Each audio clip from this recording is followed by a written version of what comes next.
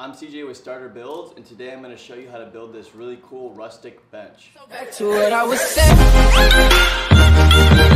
Could- could be us. What's up guys, CJ here from Starter Builds. In today's video I'm going to walk you through how I built this really cool DIY rustic pallet bench. I was inspired by this specific project from Bob at I Like to Make Stuff. I'll have links down in the description below to his specific video as well as how he went about doing this. To start out, you're going to want to go ahead and get two large pallets. You can find these within your local area on Craigslist or Facebook Marketplace. They're, they're pretty accessible. From there, I went ahead and ripped these down into one inch strips on the table saw. And now that I have those one inch strips, we're going to be able to go ahead and glue these up. I recommend using a good amount of glue here because if anyone were to sit on this or if you put large decorations on there, we want to ensure a strong hold.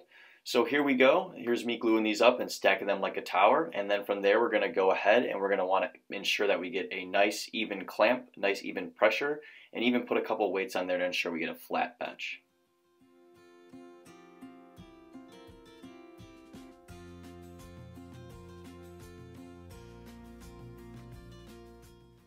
After you've completed the glue up and let it sit for a couple of hours, I actually waited a whole day, we can go ahead and remove the clamps. I put two 25 pound weights on top of that just to apply even pressure. This also helps to keep it flat. From here, we're going to want to go ahead and check to see if there's any glue squeeze out that we may have missed. Go ahead and scrape that off. I'm going to go ahead and square up each side of this bench so that we can go ahead and start to create the legs.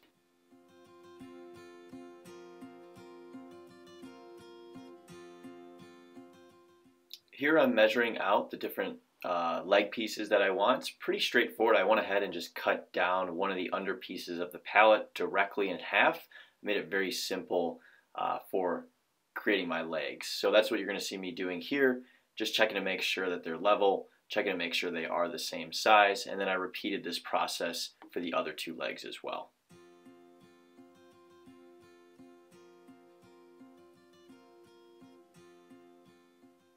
Next, I ran this through my planer just to make sure we can get it as flat as possible. If you don't have a planer, you could actually use a hand planer or a belt sander. You can pick these up for uh, pretty affordable prices from your local stores. So if you don't have the money to buy a planer, looking at getting a hand planer or a belt sander will definitely help to even out your uh, rustic bench.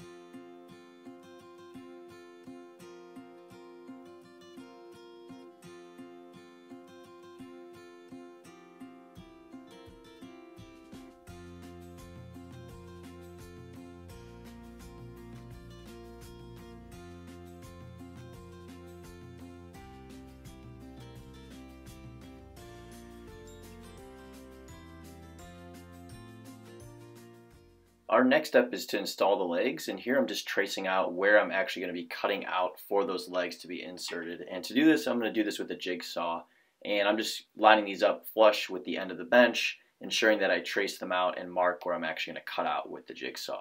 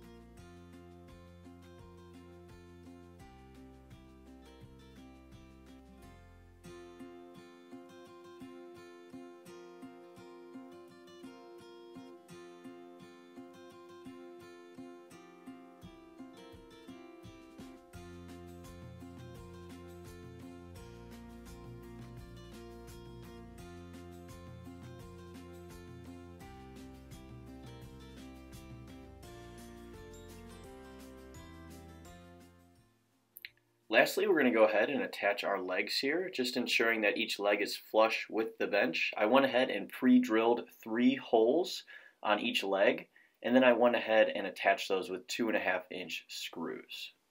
So once you have your holes drilled, go ahead and start attaching your legs. Timber! One of my legs just fell off. Go ahead and use those two and a half inch screws to secure your legs in. Clearly I did not do that for the one that fell there. But once you have all four legs attached, we're going to go ahead and put on some side panels around the bench to give it a little bit more of an aesthetic appeal.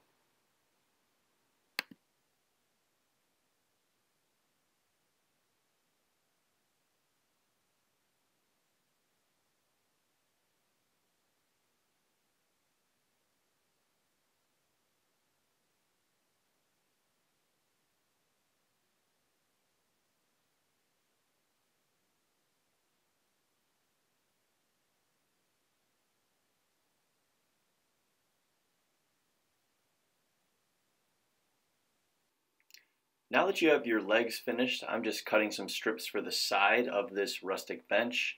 I went ahead and used a pallet board for the front and the back, and then I'm going to use these strips for the side, which you'll see me uh, connect here with some brad nails in just a moment.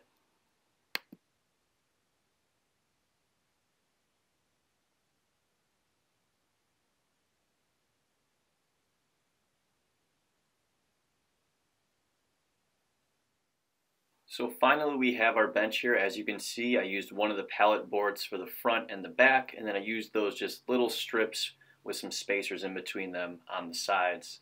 For a free project, I don't think it's a bad build. You could put it outside your house, put some planters on it, or you could put it inside your house and use it as a bench to put your shoes on.